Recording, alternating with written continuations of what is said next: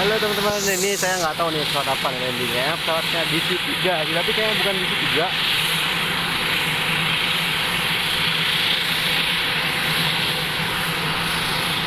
moncongnya kayak hiu ya.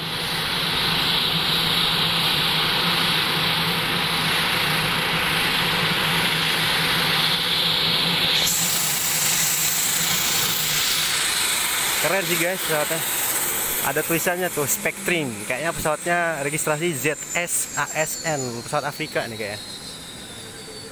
Afrika nih guys. Mantap banget ya.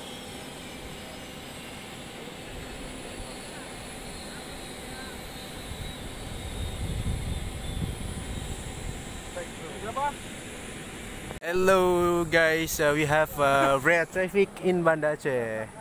This is uh, DC3 Dakota. I, I talking to the pilot and uh, he says the Dakota, but uh, full modified. You see the nose is uh, very long nose. Yeah, it's very very traffic. Registration uh, Zulu Sierra Alpha Sierra November. I think the aircraft from the South Africa.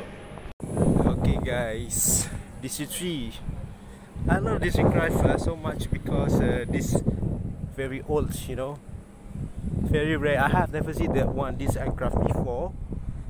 We have a monument like this in Banda Aceh, but uh, that is not real aircraft. It's like uh, fake.